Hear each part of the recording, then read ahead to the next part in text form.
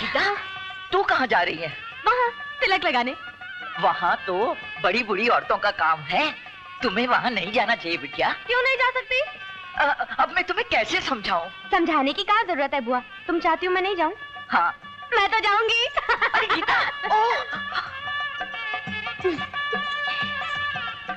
भाभी को तिलक मैं लगाऊँगी।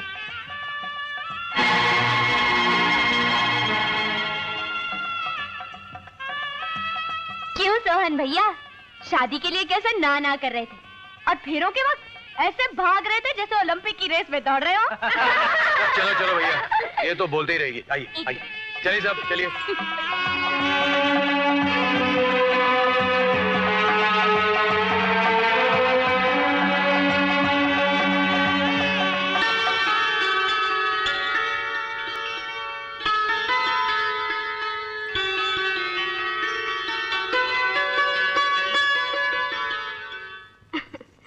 सुंदर अति सुंदर। कैसी चाँद जैसी बहू आई है इस घर में। सारा घर रोशन हो गया। मगर इस शुभ अवसर पर एक अपशगुन हो गया। अच्छा नहीं हुआ। अपशगुन? कैसा अपशगुन? अब क्या कहूँ बहनों? बहू के चौखट पर पैर रखते ही वो बाल विधवा है ना गीता? आके बहू को तिलक लगा गई। राम राम। ये तो बहुत बुरा हो गया। अरे उसे रोका क्यों नहीं? उसे रोकने की हिम्मत किसे है जी? क्यों? क्यों नहीं रोक सकते उसे? वो सीता की लाडली बहन जो ठहरी। लाडली है तो क्या हुआ? किसी सुहागन का सजा सजाया घर थोड़ी ना उजाड़ेगी। ये क्या हो रहा है? तुम लोग धक्का क्यों मारो? अरे धक्का कौन मारा है भैया? ये क्या ज़बरदस्ती है? ज़बरदस्ती कैसे नहीं? इतनी मुश्किल से तो फंसे हो। अब चलो। अरे भैया घबरा के बाहर मत भागना। होता है होता है भैया होता है।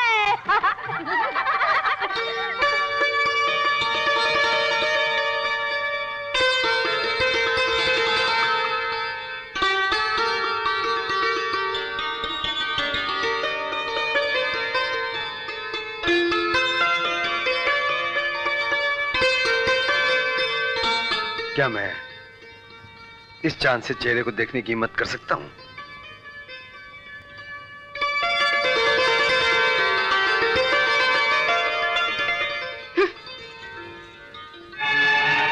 अरे क्या हुआ?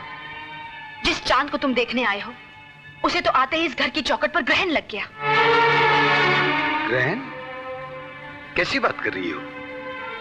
कोई उल्टी सीधी बात हो गई क्या? हो नहीं गई।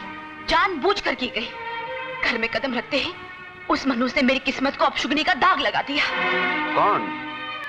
किसकी बात कर रही हो? वही जिसने मेरी आरती उतारी। जिसने गौना होने से पहले अपना सुहाग खो दिया। वो बाल विधवा गीता। शीला!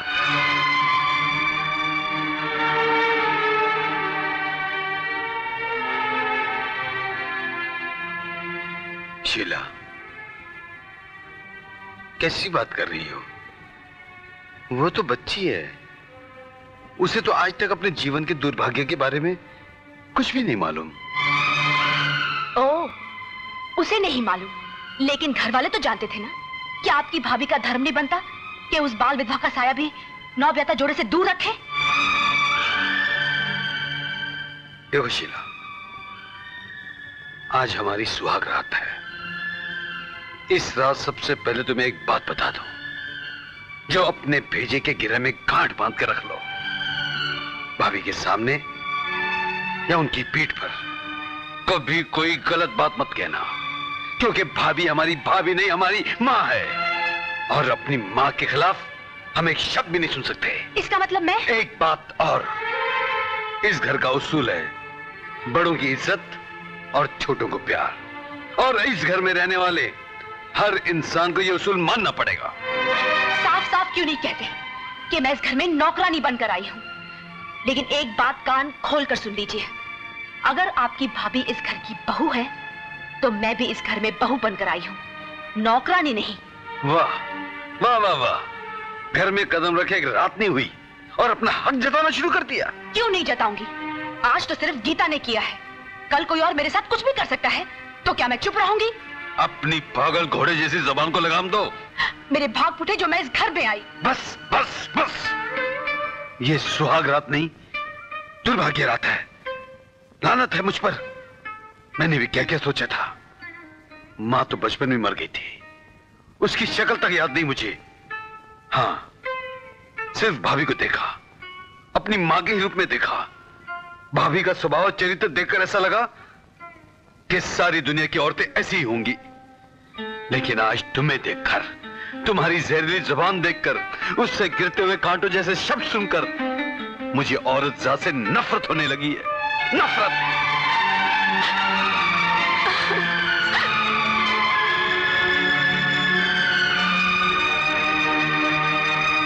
हम भी हैं।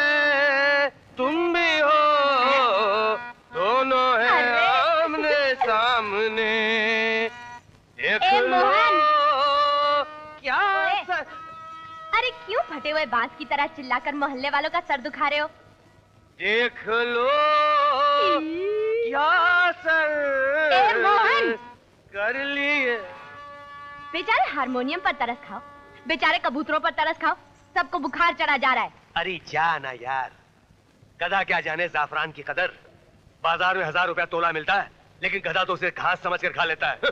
हम भी हैं। तुम भी संगीत सम्राट पंडित मोहन यूँ पेटी बाजे में मुँह डालकर हिन हिनाने से कौवा कोयल तो नहीं बन जाता। इसके लिए गले में सुर चाहिए सोज चाहिए आवाज़ चाहिए जो आपके पास तो है नहीं। अरे ओ साज और आवाज़ वाली जरा सुर लगा के देखा। अभी पता चल जाएगा कौन कौआ है कौन कोयल है। हाँ। अरे ओ हाँ। बाजे का सुर मिलाकर तो गूँगा भी गा सकता है। बगैर सुर लगाएगा तो माने। अच्छा। हम्म। तो ठीक है चल मेरे साथ। कहा? तुझे गाने से मतलब है चल मेरे साथ है? गाना सुनाता हूँ